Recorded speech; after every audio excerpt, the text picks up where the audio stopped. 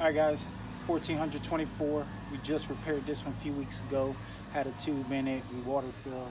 Finally gonna take that tube and tire off and put just a uh, brand new tubeless tire on. So, first things first, actually we do it on this side so you can see. We're gonna use our bead breaker.